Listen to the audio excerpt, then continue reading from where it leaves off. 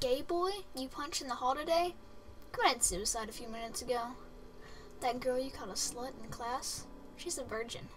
The boy you called lame, he has to work every night to support his family. The girl you pushed down the other day, she's already being abused at home.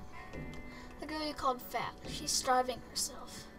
The old man you made fun of because of the ugly scars, he fought for our country. The one you made fun of for crying, his mother is dying.